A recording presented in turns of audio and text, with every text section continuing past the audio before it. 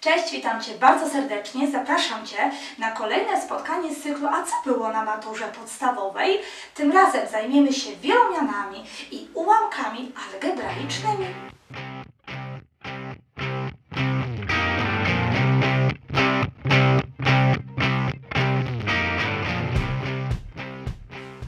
Tak się składa, że zadania z wielomianów, mówimy inaczej wyrażeń algebraicznych, czy też ułamków algebraicznych pojawiają się na maturze podstawowej z matematyki, jednakże są to zadania najczęściej za jeden punkt albo dwa punkty. No ale wiesz, ucząc się do matury musisz i takie zadania umieć rozwiązywać, bo to są bardzo łatwe punkty do zdobycia. Dlatego zapraszam do analizy tych zadań, które przygotowałam z poprzednich matur właśnie dla Ciebie w tym momencie.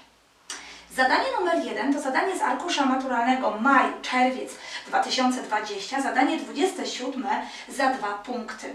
Rozwiąż równanie. Jest to równanie właśnie wielomianowe. Ma taką postać x kwadrat minus 1, jak pomnożę przez x kwadrat minus 2x, to ma mi wyjść 0.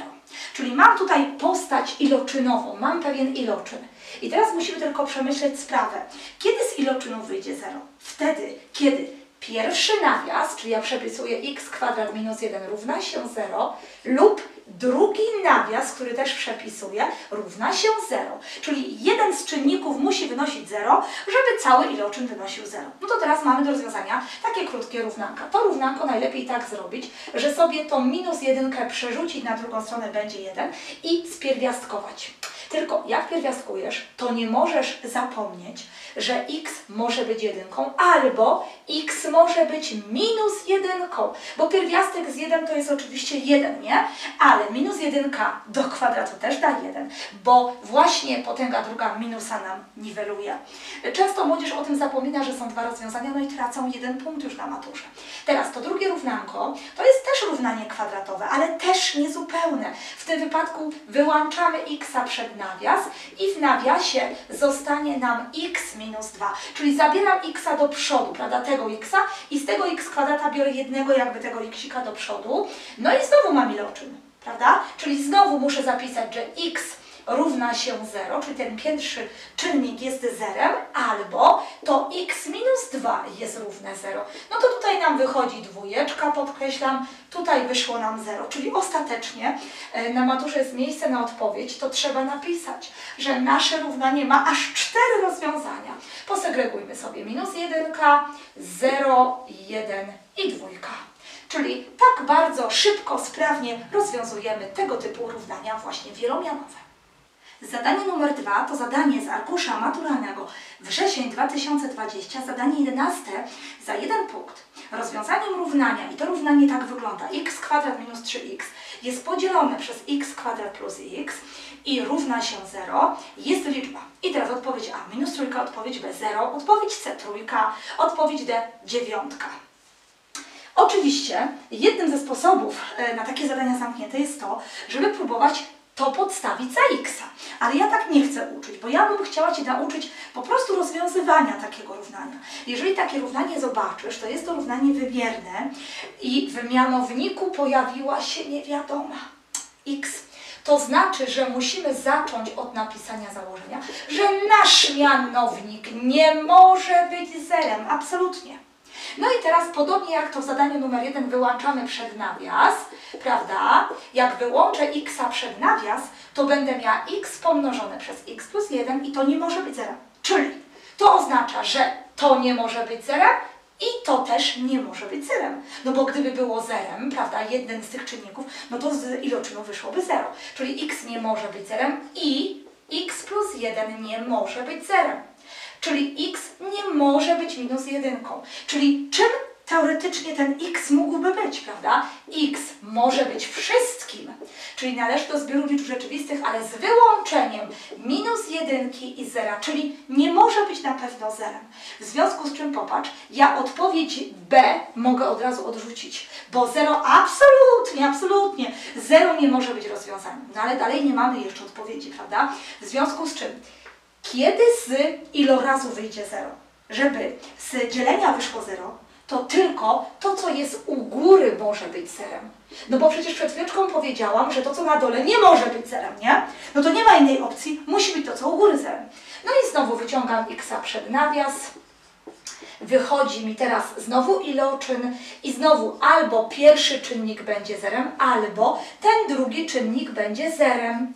Ale wiemy, że tu jest sprzeczność, no bo przecież y, ten x y, równy 0 jest wyrzucony z dziedziny, prawda? W związku z czym no nie ma innej opcji. Rozwiązaniem naszego równania jest liczba 3. Ona oczywiście spełnia tutaj ten warunek. Należy do zbioru liczb rzeczywistych z wyłączeniem minus jedynki i zera, czyli w tym wypadku odpowiedź C jest odpowiedzią prawidłową. Zadanie numer 3 to znowu zadanie z tego samego arkusza wrzesień 2020, zadanie 20 za jeden punkt. Wielkości x i y są odwrotnie proporcjonalne. Tabelka tutaj jest przedstawiona. W tej tabelce widzimy, że jak x jest równe a, to y 36. Jak x równe 3, to y 24. Jak x równe 8, no to y b. Wynika stąd, że odpowiedź A, A równe 6, B równe 22,5. Odpowiedź B, A równe 4 trzecie, to B równe 6. Odpowiedź C, A równe 3, to B równe 96. I odpowiedź D, A równe 2, no to B równe 9. Tutaj bardzo ważną rzeczą jest, żeby sobie przypomnieć, co to znaczy wielkości odwrotnie proporcjonalne, prawda? No, pasowałoby sobie zapisać wzór na odwrotną proporcjonalność, czyli że Y to się równa i powinnam teraz napisać A nad X ale małe a powinnam napisać, ale małe a będzie kolizja oznaczeń z tym. Dlatego napiszę może duże a nad x. Tak się zachowują wielkości y, odwrotnie proporcjonalne i my musimy znaleźć to duże a. No to musimy podstawić to, co mamy dane. Czyli wiemy, że jak za y postawię 24, prawda, to wtedy za x podstawiam 3 razy 3 i mam tutaj 72 to się równa A. Czyli jednym słowem ten wzór opisujący tą zależność pomiędzy x a y to jest nic innego jak 72 przez x.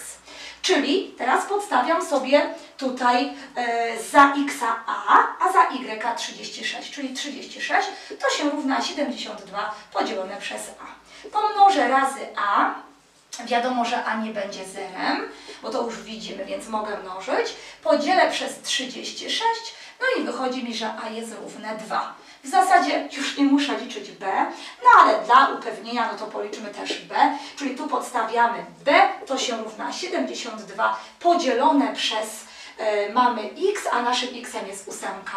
Czyli faktycznie 72 przez 8 to jest 9, prawda? Czyli w tym wypadku odpowiedź D jest odpowiedzią prawidłową. I zadanie numer 4 to jeszcze jedno zadanie z tego samego arkusza maturalnego. Wrzesień 2020, zadanie 30 za 2 punkty. Rozwiąż równanie. x do trzeciej dodać 8 pomnożone przez x kwadrat minus 9 to się równa 0.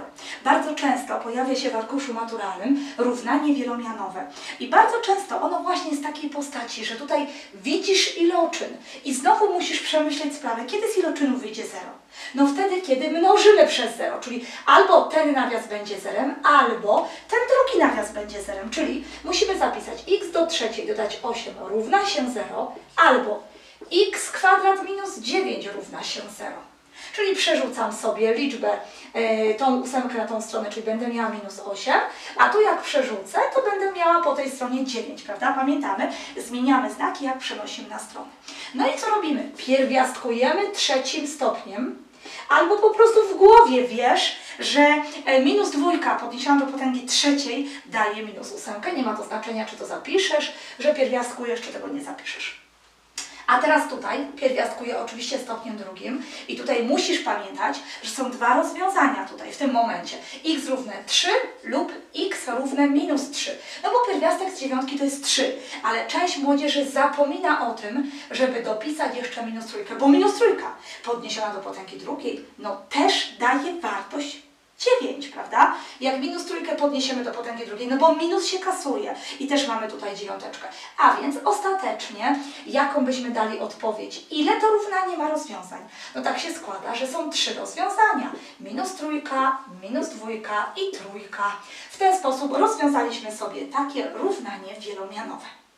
Na to spotkanie przygotowałam zadania dotyczące właśnie równań, jak widzisz, wielomianowych i pewnych powtórek związanych z właśnie mm, tutaj wielkości proporcjonalne odwrotnie były, pewne powtórki związane z również równaniami wymiernymi, bo też takie było, żeby pamiętać o założeniach. Oczywiście są to wy, wybrane fragmenty właśnie związane z arkuszami maturalnymi z poprzednich lat. Więc e, żeby sobie całość przypomnieć, no to nie wystarczą cztery zadania, ale tutaj chciałam pokazać, że takie zadania właśnie spotykamy w arkuszach maturalnych z matematyki na poziomie podstawowym. Mam nadzieję, że lekcja się podobała. Zapraszam jak zwykle na moją stronę internetową aikamat.pl, na mój kanał na YouTubie, na mojego fanpage'a. No i do zobaczenia na kolejnej lekcji ze mną.